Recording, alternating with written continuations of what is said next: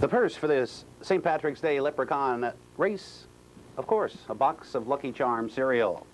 Number one is St. Patrick's Promise, and he'll be driven by Mark O'Mara.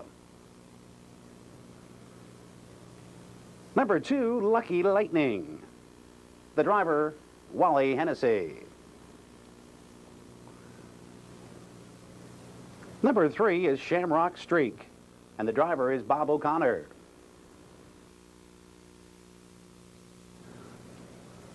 Number four, Green Ghost, driven by John Hogan.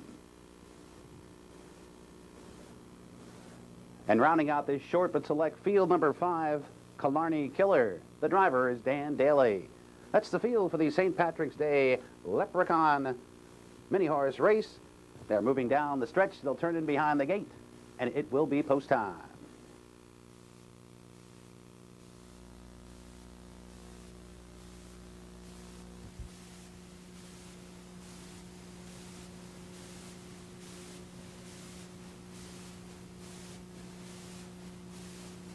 Field is in motion.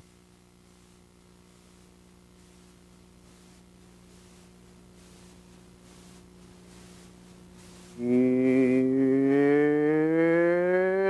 they come.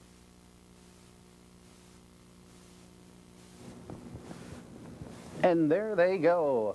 From the far outside, Killarney Killer and Dan Daly move out. In between horses, Green Ghost and John Hogan with early foot. And down along the inside is St. Patrick's Promise and Mark O'Mara. They're three across the track. Then we come back to Lucky Lightning and Wally Hennessy and Shamrock Streak and Bob O'Connor.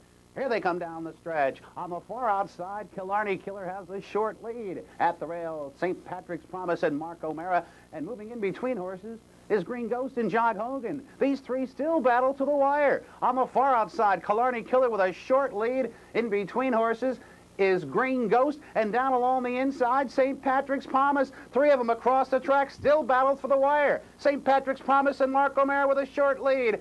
In between horses, Green Ghost and John Hogan. On the outside, Killarney Killer and Dan Daly at the rail, St. Patrick's Promise and Mark O'Mara.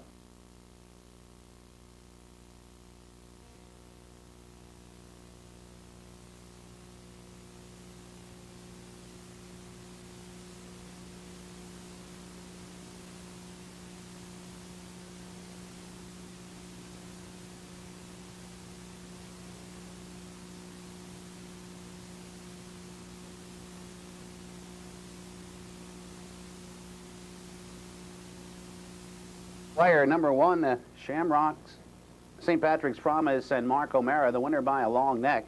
Finishing second was number four, Green Ghost and John Hogan, and finishing third, number five, Killarney Killer and Dan Daly. And all the participants in the Leprechaun race of 2000, the St. Patrick's Day miniature horse race, all returning to the winner's circle.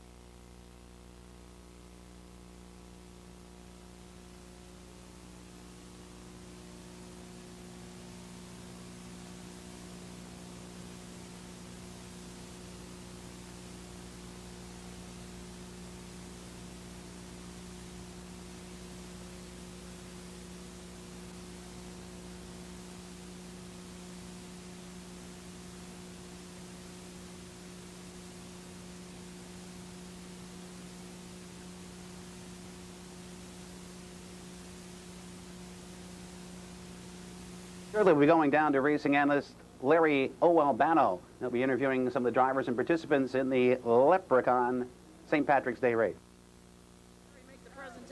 We're in the winner's circle with winning driver Mark O'Mara and his purse, a box of Lucky Charms cereal. Mark, I didn't know they were still making these things. I guess they are. Congratulations. Couldn't have gone to a better colored person on St. Patrick's Day. You've got wearing of the green and the shamrocks. You're all set for this. We've got everybody in the winner's circle with the minis. Guys, I know you had a ball. Everybody here involved. Bob Connor, Dan Daly, Wally Hennessy in the back. He got a check. John Hogan, everybody. A great job today. The miniatures, once again, the Leprechaun Lap 2000, a popular item at Pompano Park, you can tell. Now we're going to roll on to the fifth race, and we've got more easy money giveaway after race six.